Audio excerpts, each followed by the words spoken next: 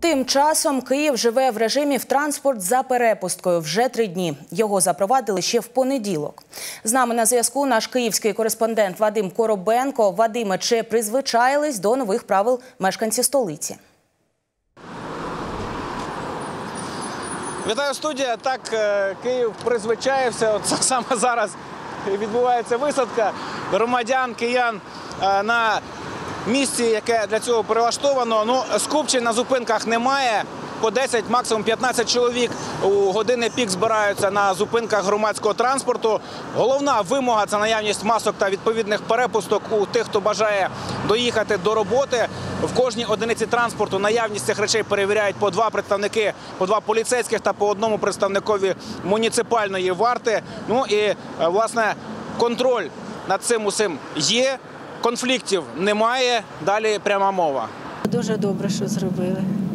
Постояли на зупинках, а зайти не можемо. І сидять ті ж самі наші грибочки, які повинні були б сидіти вдома, але вони отак моталися. Ну а зараз трохи спокійніше. Тільки з перепусками, тільки 10 чоловік.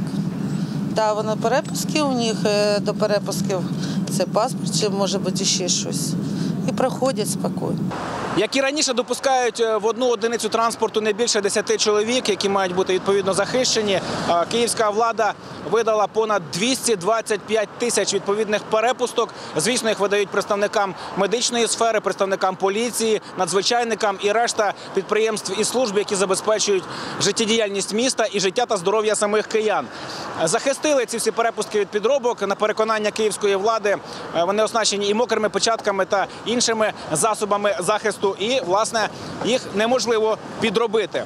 Е, До речі, від сьогодні вже закрили і мафи. Донедавна ще вчора можна було купити каву е, просто е, в кіосках. Зараз ні кави, ні паніні, ні хот-догів вже в кіосках і мафах не продають. Тому власне місто вже абсолютно, як то кажуть, карантині значно менше людей перебуває на вулиці.